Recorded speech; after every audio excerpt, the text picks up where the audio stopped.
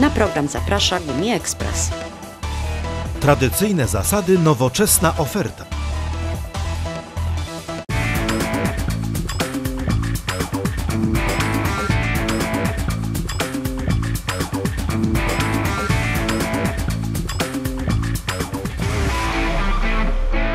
Dariusz Woźniak, dzień dobry, witam Państwa w kolejnym odcinku magazynu z Zakółka. Dzisiejszy odcinek, e, choć poświęcony generalnie samochodom z silnikiem diesla, ale może i zainteresuje właścicieli e, innych pojazdów. E, Otóż e, w dzisiejszym odcinku porozmawiamy sobie o dość kłopotliwej awarii właścicieli samochodów napędzanych silnikiem diesla i wyposażonych w tak zwany filtr cząstek stałych, czyli tak zwany DPF, FAP, różnie to nazywają. E, Na ten temat w dzisiejszym odcinku porozmawiam ze specjalistą w tej dziedzinie, z panem Robertem Wierżajtisem. E, Dzień dobry panie Dzień Robercie. dobry, dzień dobry Państwu, dzień dobry. E, Panie Robercie, na wstępie może powiedzmy widzom, e, jakiego rodzaju są, są te filtry. To możemy rozróżnić dwa typy, dwa typy, które ja znam, tak, ze względu na praktykę. To jest tak zwany filtr suchy i filtr mokry, tak. Na czym te różnice polegają? E, W filtrze e, suchym e, oczyszczanie filtra polega na tym, że pojazd obliczając wejście i wyjście spalin, różnicę ciśnień i temperatur, w momencie wykrycia mm, zbyt, zbyt dużego oporu, ja bym to tak nazwał, przy wyjściu spalin, zwiększa jakby poziom mm, wtryskiwanego paliwa do silnika, tym samym zwiększa temperaturę, tak? I przy tej zwiększonej temperaturze zaczyna wypali, wypalanie, tak zwane wypalanie i to jest związane ściśle z temperaturą, tak? W ten sposób wygląda to oczyszczanie. E, Natomiast w filtrze mokrym, e, tak zwanym, podawany jest środek. Mocznik, czy to już, tak ja, ja to zakładam, że to właśnie AdBlue, bo, bo sami mamy jeden nowy samochód, właśnie który, osobowy, który już jest mokry, ma mokrego DPF-a i tam AdBlue wlewamy. E, Gama Citroena, chyba Peugeota ma taki specjalny środek, ale też zakładam, że to na tym e, samym mniej więcej polega, że wstrzykiwany jest ten środek.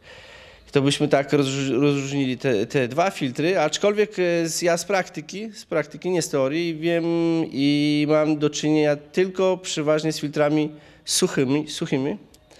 Mokre filtry tutaj trafiają z, tylko ze względu na to, że zbiornik, zasobnik na ten środek jest e, e, pusty, czyli wynikający z eksploatacji. Takie nam się trafiają, jeśli chodzi o mokre. Natomiast suche, no to bardzo często, bardzo gęsto i w autach starych, nowych i to jest e, bolączka wszystkich użytkowników cyklu miejskiego, czyli tak by to można było opisać w skrócie dla Państwa, czyli wszystkie osoby, które poruszają się z domu do pracy i z pracy do domu i to są odległości 3 km, 4, tak jak u nas w mieście e, się pokonuje 5, 6, e, auta, które nie osiągają temperatury pracy silnika, czyli 90 stopni e, i one wszystkie mają problem właśnie z tymi filtrami. One zapychają się, powodując e, e, wchodzenie silnika, sterownika silnika w tryb awaryjny, e, ograniczając moc.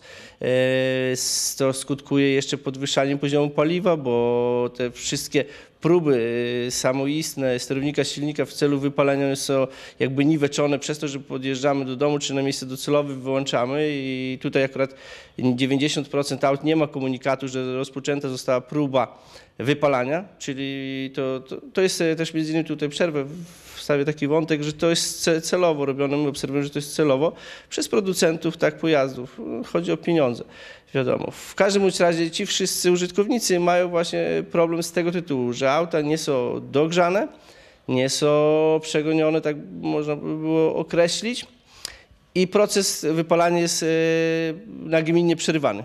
przerywany. Właśnie tutaj się nas nasuwa pytanie, jak właściwie y, eksploatować taki pojazd? Powiem Państwu szczerze, że nie ma na to recepty.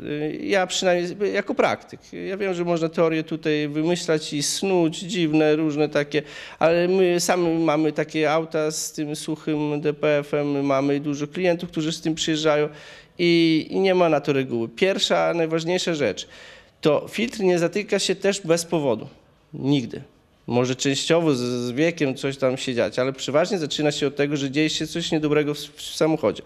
Czyli proporcja powietrza do paliwa. To jest podstawowa rzecz. Jeśli nie będzie właściwej proporcji powietrza do paliwa, to można po prostu będzie zakapcany ten filtr, a to łatwo zaobserwować na przykład y, nawet w domu podpalając ropę, tak bez e, w małym jakimś naczynku, w naparsteczku. Pod, po, proszę podpalcie Państwo i nie dajcie tam powietrza. Będzie po prostu takie, y, takie będą smurgle, smurgle, no nie wiem jak to nazwać, takiego czadu dymu. No i to wszystko przecież tam trafia i, i, i zostaje i to nie wylatuje. Część, część wyleci, ale tak większa część zostanie w tym filtrze, aż do momentu, kiedy go całkowicie zapcha. Czyli to jest ta, ta pierwsza rzecz, proporcja tego powietrza do paliwa. To są tak zwane zawory EGR nie, niesprawne. E, olej niewłaściwy do silnika, tak, zalewany, to przy tych filtrach cząstek stałych tam jest podana norma oleju i to powinni Państwo zwrócić uwagę na, na jakość tego oleju, przede wszystkim producenta, tak. To są oleje e, z niską zawartością popiołu, się nie mylę, tak, bo żebym tutaj nie popełnił gafy jakieś, ale one są specjalnie przewidziane dla tych właśnie filtrów, że tam chodzi o, o, spalanie tego oleju. I zauważyłem, że jest napisane na olejach, że jest przeznaczony właśnie do takich typów silników. Tak, tak. I, i, na to trzeba szczególnie zwracać uwagę. No, no tutaj z doświadczenia, z praktyki, to my widzimy, że to jest tak. e, Każda marka ma, ma swoje, wiadomo, jakieś oznaczenie i symbol, ale głównie to są takie oleje 5W30 w, ta, w takiej e, normie oznaczeniowej. No, dla każdych e, pojazdów już nowszych potem producent tam przewidział jakieś odstępstwa. Także nawet nie sposób tych olei trzymać wszystkich, bo, bo po prostu to jest mnóstwo mnóstwo rodzajów, tak? 5W30 może być, nie wiem, naprawdę bardzo dużo e, odłamów. I, I tutaj te, takie rzeczy jak ten właśnie olej pilnować, no i temperatura silnika, pracy silnika, tak? Jeśli silnik nie uzyska temperatury 90 stopni, czyli będzie ciągle niedogrzany, e, to raz, że proces wypalania nigdy się nie uruchomi, bo sterownik nie zezwoli na proces e, dopalania, wypalania, a po drugie, no wiadomo, zimny silnik i większa emisja spalin, tak?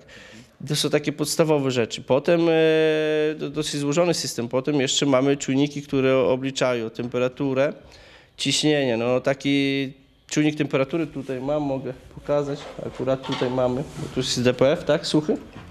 Tu mamy jeden z czujników, który mi obmierza, tak, to jest e, akurat tutaj to mamy problem z wejściowym, czyli pierwszym. To jest właśnie ten czujnik, który został urwany, tak, przy demontażu. No, 50 na 50, że się uda taki czujnik wyciągnąć. On pracuje w ekstremalnych warunkach, czyli tutaj na pierwszym rzucie spalin, czyli tam temperatura nawet e, potrafi sięgnąć e, 600, e, 700 stopni, e, w zależności od tego, jak jest przypchany. E, Czyli tutaj mamy tak, mamy tutaj takie wejście dodatkowe, Państwo mogą zobaczyć e, ciśnienia spalin, bo tu mówiliśmy o czujniku temperatury, są dwa takie, trzy, różnie bywa w autach, a tu jest e, wejście do rurkami stalowymi do czujnika ciśnienia, który obmierza wejście i wyjście, tak? I na tej podstawie to wszystko jest kalkulowane, w jakim stopniu jest zanieczyszczone. I to tak pokrótce by można było o tym powiedzieć.